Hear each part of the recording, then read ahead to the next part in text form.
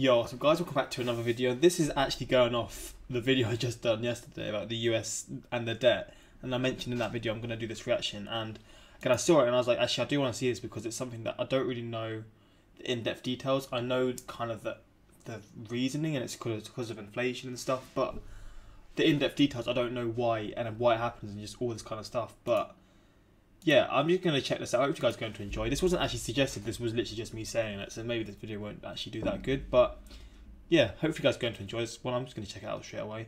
It's by Wonder Why again, a channel that I really do enjoy seeing. But yeah, quick shout out to my Instagram, my Twitter links in the description for those, and my second channel links are all there, and also for my Patreon. I've just made it. It's new, and yeah, I've really appreciate the support on it so far. But the links are there for people who want to see that. It's um, there's like Patreon only videos on there and just stuff like that really. But yeah, links are all there for all those sort of socials and Patreon, etc. But let's get into this one and let's see what what this video is going to talk about then. Have you ever wondered why countries can't just print more money to pay off their debts, or to feed the homeless, or to fix unemployment, or any other issue for that matter? Now, this might seem like a rather silly question, but I think it's one of those questions that people might be too embarrassed to ask, but there's no shortage of people Yeah. wondering. It's a good point. It's one of those things that people be like, okay, it's going to sound stupid why I ask this, but I don't actually know why. The short answer can be summed up in one word inflation. Inflation is defined as a persistent substantial rise in the general level of prices related to an increase in the volume of money resulting in a loss of value of currency. But I'll get to that. First, though, we need to establish exactly what money is. Now, this may seem obvious, but something that you need to understand is that money has absolutely no intrinsic value. What that means is that money in itself has no actual value, it's only considered valuable because it can buy things. But if you were stranded on a desert island, money Yeah. would be totally useless. It's true. It's a man-made Money thing. only had- It's a man-made thing. Money is not actually one of those things that sort of like. That's why I always sort of feel like, can money actually buy you? Ha- I'm gonna move up here because I think this side's gonna have a lot of more interesting things. Um, can money actually buy you happiness, or is it just one of those things that you sort of think can make you happy, but it can't because it's not actually real? Like it's real because it can help you get better things and all that kind of stuff, but it's not actually like something that humans are like used to. Like they're not programmed to sort of understand. I don't know. I get. I don't know. It's hard to explain, but it, I see what you mean. It's got no sort of value when you're stuck in a situation. Say you're on like a sinking boat. I remember in the Titanic, he was like, "I'll pay you to kill Jack." And I don't. I don't know how I got to Titanic at this point, but like. He's just like, why would you give me my money now? Help me out. I'm literally gonna die on this ship, and it's just like, it's true. It only means something when you're sort of able to actually use it. It has value because we believe it has value. Like at this point, an apple would be more, have more intrinsic value than money, than two million. If you're stuck on this island, it would, and it's just a scary sort of thing. This is called the Tinkerbell effect, something I learned about from Vsauce. Oh, shut the Tinkerbell Vsauce. effect is used to describe something that only exists because we believe. Also, look. I'm sorry, I'm pausing a lot. Shall I move? I'm gonna move the camera back down. Fuck it. sorry for this really messed up start. I want to see how the YouTube looked back then. Bro, look at that. Bro, this is wild. This is YouTube back in the day. What the hell? It's so different. effect, something I learned about from Vsauce. The Tinkerbell effect is used to describe something that only exists because we believe it exists. And this is the case with money. Hypothetically speaking, if people suddenly started to believe that money had no value, it wouldn't have value. Yeah. Of course, it wasn't always this way. Money has been around for millennia, and when it was first used, it was in the form of commodity money.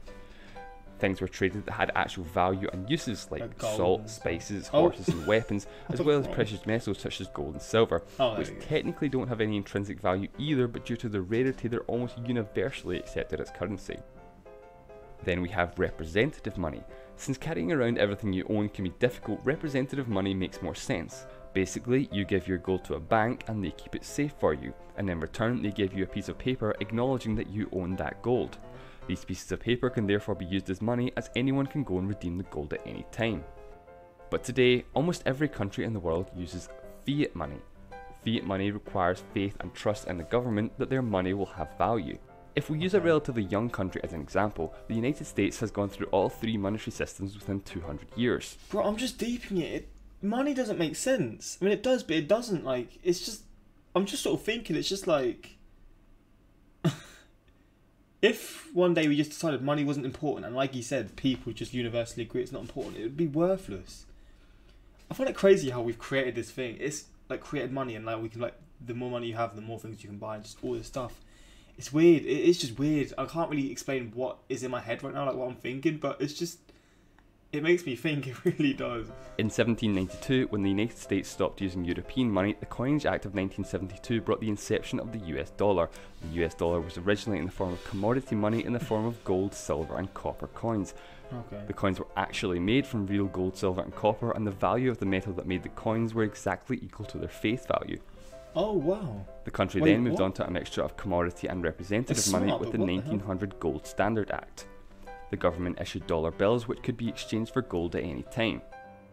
Gold standard is a type of representative money that many countries used at the time. Cool dollar. This was an effective way to accurately calculate the exchange rate between countries. For example, if 1 gram of gold costs £1 in Britain and $1.50 in America, then you can easily deduce that £1 must equal $1.50. Okay. Gold coins were that, I do see discontinued and the silver was removed from the other coins, effectively ending commodity money in the United States. In 1971, Richard Nixon officially abandoned the gold standard and the US moved on to fiat money. So today, money isn't backed by gold or anything else of value for that matter. So back to the question at hand. Basic economics tells us that an increase in supply results in fall in demand and therefore a fall in price. So the more money in the economy, the lower the value of each dollar, meaning other countries can purchase more dollars in exchange for their currency. A second supply and demand graph shows why this leads to a rise in prices. More money in the economy causes a shift in the demand curve for goods and services, but since this isn't matched by an increase in economic output, prices must rise. Look at it this way if the government printed a million dollars and posted it to everyone in the country, causing everyone to go out and buy a sports car, but there's only a finite number of sports cars in the country, so the logical thing to do is to increase the price of a sports car. Yeah. Because the demand. If we right? use an analogy to demonstrate this, imagine there's four people on a desert island. They each have 10 pieces of fruit. All fruits are considered equal in value. Now imagine they discover a whole forest of apple trees. The nominal value of apples has increased because there's more of them, but the actual value of an apple Yeah. has gone down due to an Yeah, increase in supply.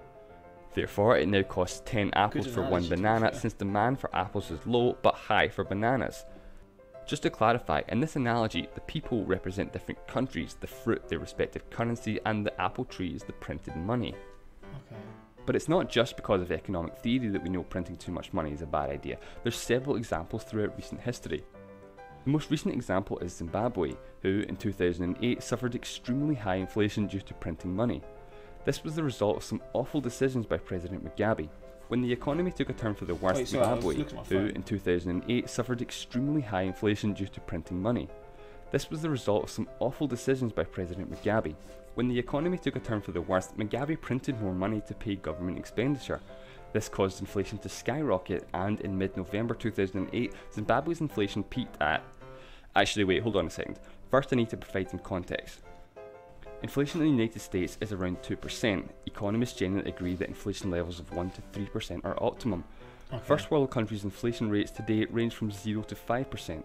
A country is said to enter hyperinflation when their inflation levels exceed 50%. So, with that in mind, Zimbabwe's inflation at its peak reached 6.5. 6 trillion percent. Or to put it another way, that number has 22 digits. It got so Wait, bad what? that prices doubled every 24 hours. The government tried to solve the problem by printing more and Bruh, are you telling me they're paying 300k for some milk? more money with higher and higher denominations. 335 million pounds for some bloody milk. Are you mad?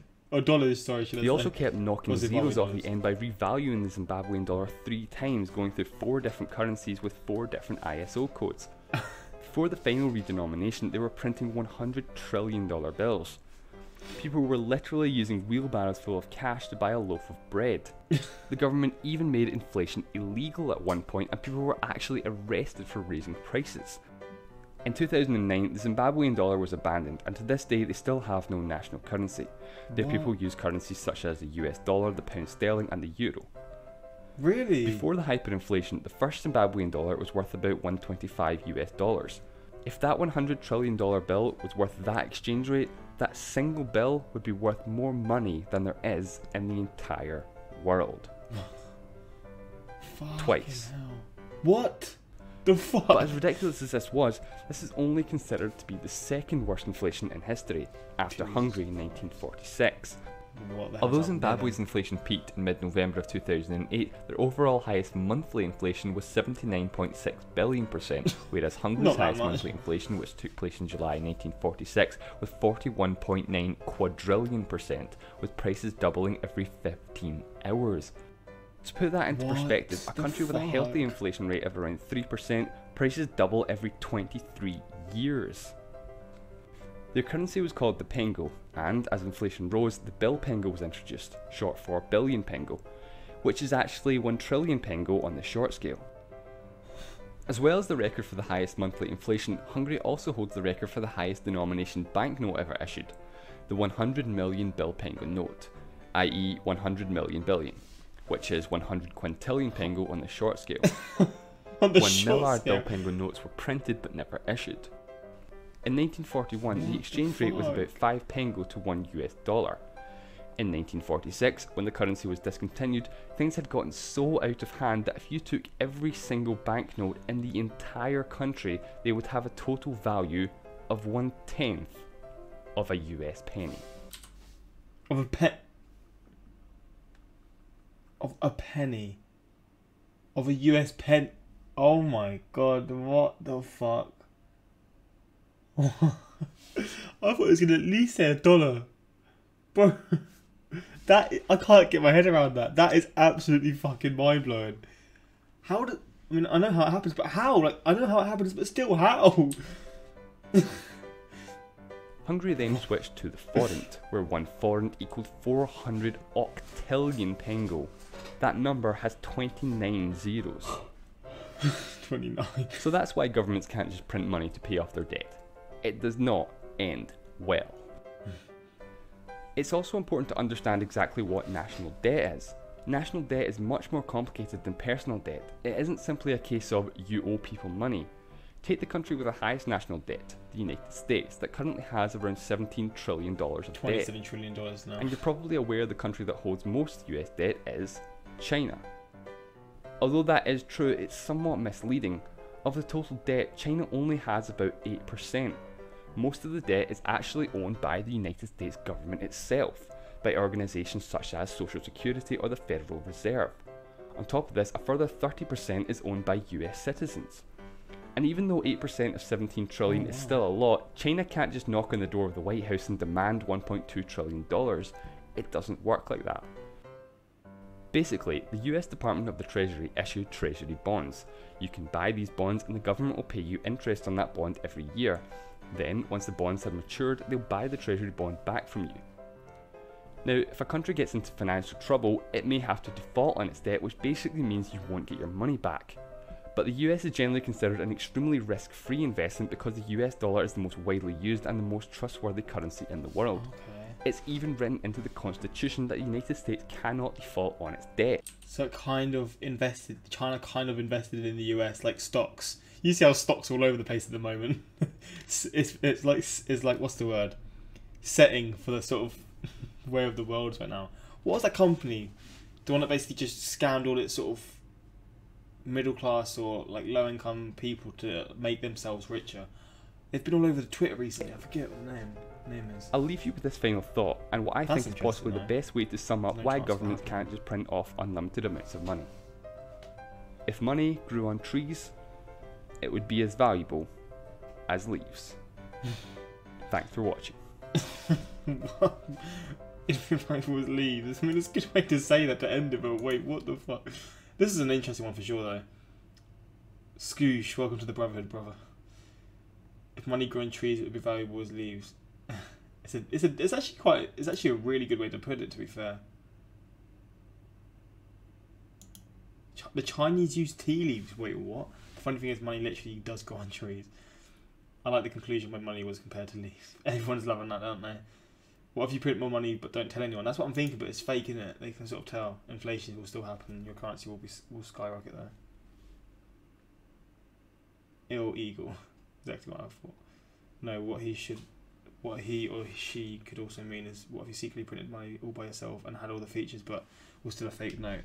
But he'd never told anyone about it and just used it in locations where nobody has any idea about it or checks it or even bothers to find out. You go to jail when the police find out. You'll cause inflation the moment you spend it anyways. It's true. It is true. Nobody, me when I was eight, why didn't we print money to get rich? Zimbabwe, let's pr- let's print money to become the richest. 100 IQ play, baby. Just didn't work out, but that that Zimbabwe and Hungary sort of comparison was ridiculous, though. Like all the dollars, all the notes in Hungary wouldn't have equaled one tenth of the US cent. Like what the. F- ridiculous. But yeah, hopefully you guys enjoyed this reaction. More on the way. And yeah, until next time, like, subscribe. Peace.